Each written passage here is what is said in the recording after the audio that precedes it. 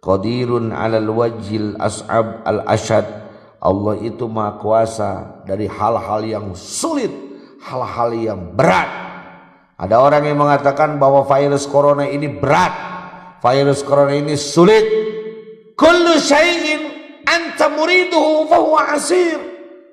Wa kullu syai'in huwa muriduhu fahuwa yasir.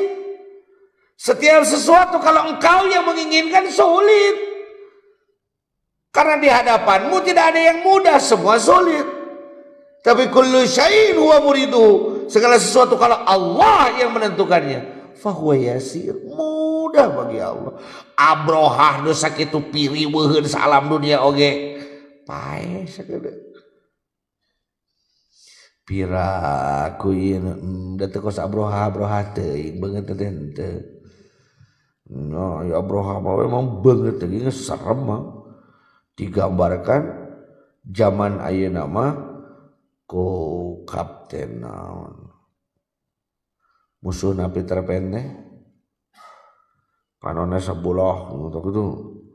Abroha itu teh wah serem lah pokoknya banget lah hayang nempo Abraham mengenteng lah gitu lah. Gampang lah.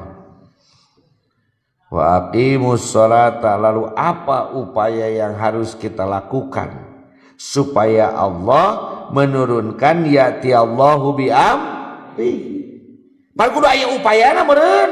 Lain ngomong hungkul wa aqimus salata wa atuz zakata gitu eta teh. Kadinya nyambung nanti inget-inget we.